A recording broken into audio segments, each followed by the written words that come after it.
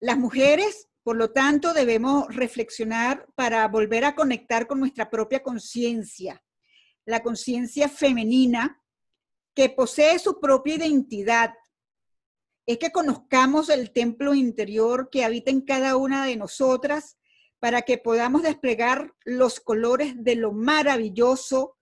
y de la luminosidad